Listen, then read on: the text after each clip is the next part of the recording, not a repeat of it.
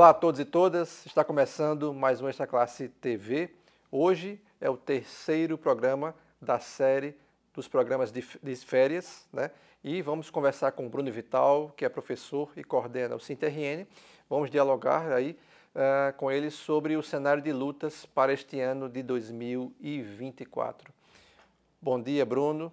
Seja bem-vindo. Bom dia, Denô. Bom dia aos nossos telespectadores e nossas telespectadoras. E Bruno, 2024 começou, né? E como sempre, em janeiro, expectativa pelo piso dos professores e professoras, né? Do município, do estado e dos municípios. Quais as perspectivas para o piso deste ano? Então, nós esperamos que nesse ano de 2024 a gente tenha a garantia do pagamento do piso nas redes municipais, bem como na rede estadual, é, para que a gente possa garantir que esse direito ele não seja descaracterizado nem desconfigurado, como tem acontecido nos anos anteriores. Tivemos muitas batalhas, muitos embates para garantir os percentuais no ano 2022, sobretudo 2023, né? E esperamos que em 2024 essa realidade não se repita, que a gente consiga fazer a negociação, inclusive porque é um percentual bem menor e a gente tem aí é, a perspectiva de poder negociar, inclusive negociar aqueles, que, aqueles percentuais que estão atrasados dos anos anteriores, que as prefeituras, que o governo do estado possam garantir a categoria, né, tranquilidade e valorização a partir desse, desse é, percentual de piso que tem que ser implementado em 2024. Falando especificamente do município do Natal, né, que é sempre aquela briga, sempre aquela luta na gestão Álvaro Dias. Qual a expectativa do Cinti para o piso desse ano do município de Natal? Porque tem piso aí atrasado, né? O prefeito conseguiu aí eh, declarar inconstitucional a lei da database, né? Pelo menos um trecho dela, né? O Cinti vai brigar na justiça e também brigar politicamente. Isso. Nós vamos continuar reivindicando os percentuais, entendendo que a valorização dos profissionais de educação, dos professores, das professoras, ela é fundamental para que a gente tenha uma educação melhor.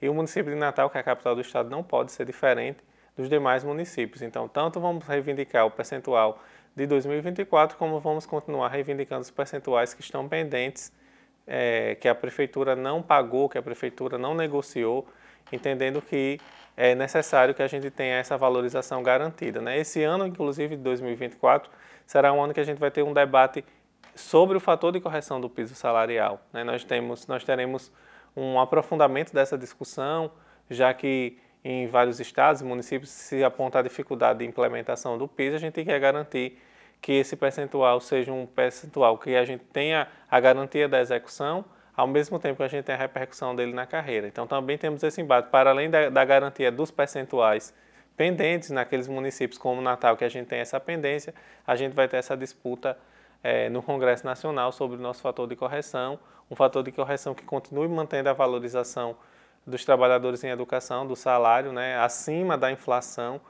é, e com a repercussão na carreira. Agora, Bruno, uh, falando de funcionários, né, ao longo de 2023 inteiro, o Cinti buscou aí o envio desse projeto né, do PCCR dos funcionários para a Assembleia e não aconteceu.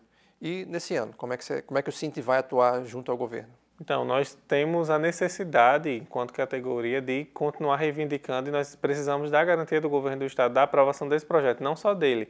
Né? Na verdade, o Estado nos deve três, o envio de três projetos de lei que tinham ficado garantidos para envio no mês de maio de 2023, que é o projeto de lei das escolas de tempo integral, o projeto de lei do porto das escolas, que diz respeito aí à gratificação dos gestores escolares e também o projeto de lei que, do plano dos funcionários, né?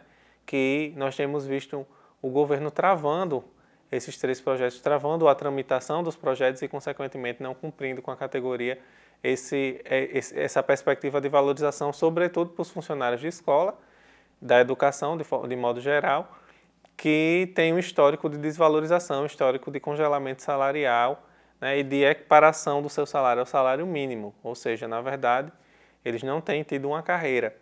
É, então a ideia é que a gente possa nesse ano de 2024 garantir isso, tirar isso do, do campo das ideias e colocar isso na prática. Né? Nós já temos um projeto de lei elaborado, o governo do estado concordou com a nossa proposta e a gente quer que ela seja enviada para a Assembleia Legislativa e que seja aprovada na Assembleia Legislativa para que ela possa vigorar. Temos muitos funcionários que já que estudaram, que fizeram até nível superior né? e que não são reconhecidos conforme essa formação que eles mesmos eles mesmos adquiriram, né? foram atrás, buscaram muitas vezes, pagaram por essa formação e não estão sendo recompensados financeiramente por isso. Então a gente espera que esse ano o governo possa estabelecer de fato compromisso com os funcionários da educação e aprovar o projeto de lei. Agora, Bruno, uma luta nacional né, que é, aconteceu ao longo de, do ano passado é, e continua agora em 24, que é a, o novo ensino médio.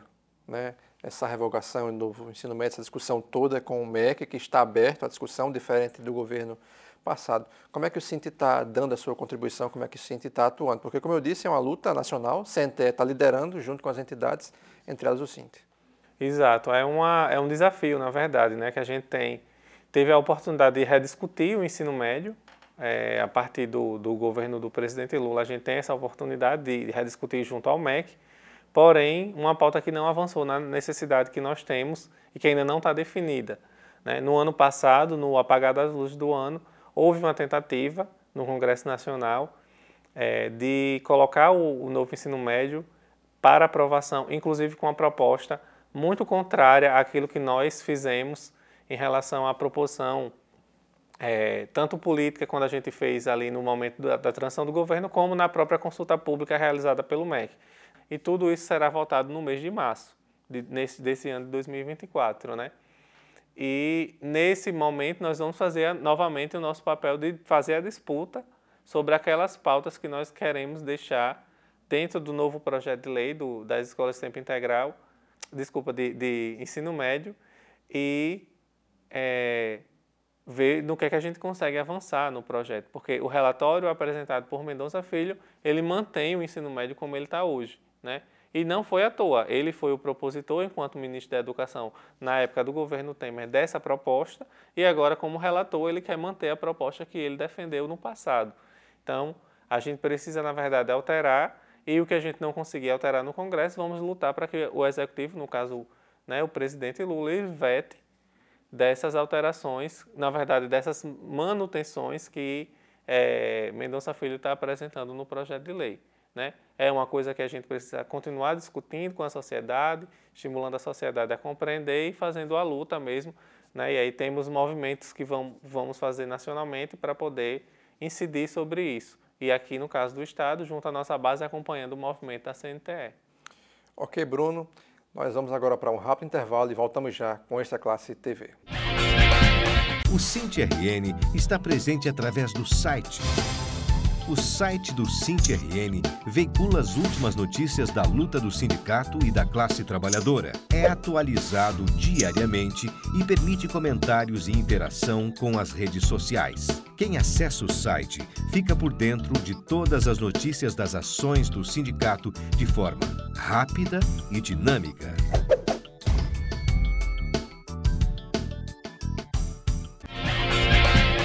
Estamos de volta com essa classe TV o programa do SINTRN em defesa da educação pública.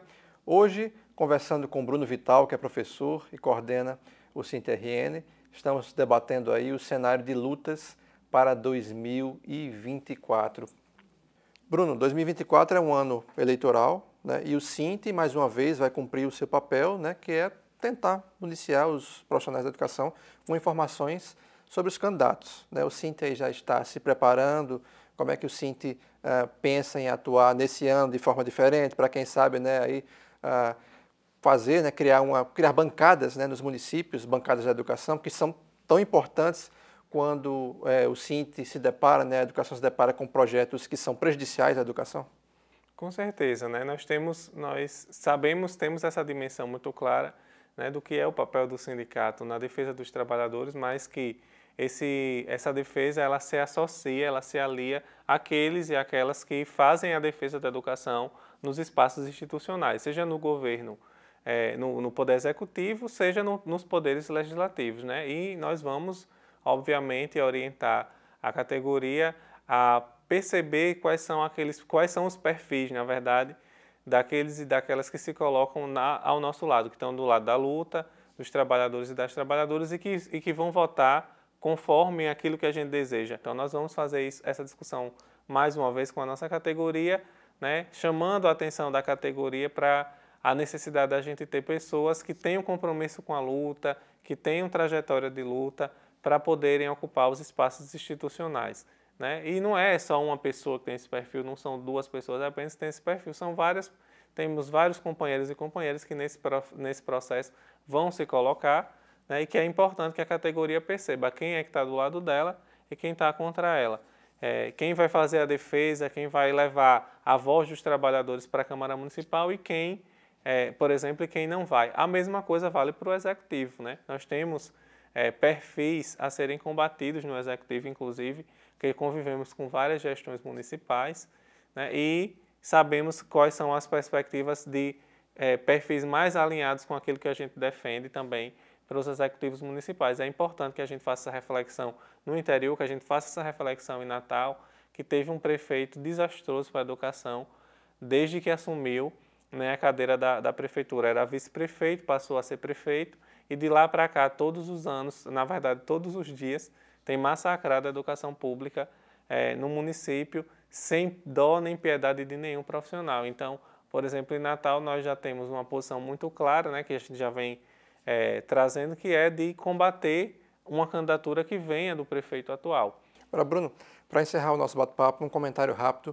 uh, acerca das suas expectativas né, do SINTE para a CONAI, que será realizada agora no final de janeiro e que terá aí um, uma discussão muito importante sobre o novo Plano Nacional de Educação para os próximos 10 anos. Exato, é um momento também de retomada, porque nós conquistamos esse espaço, nós trabalhadores em educação, através da nossa confederação, nós conquistamos esse espaço, essa possibilidade de discutir o novo Plano Nacional de Educação, mas sabendo também que esse plano será discutido na conferência, será transformado em um projeto de lei, que ele vai para uma disputa dentro do Congresso Nacional, que não será fácil. Né? Então, é uma disputa que nós vamos fazer nos próximos dias. E também esse ano vamos estar marchando né, em Brasília no mês de abril. Temos uma Marcha Nacional da Educação e uma Marcha Nacional da Classe Trabalhadora no mês de maio.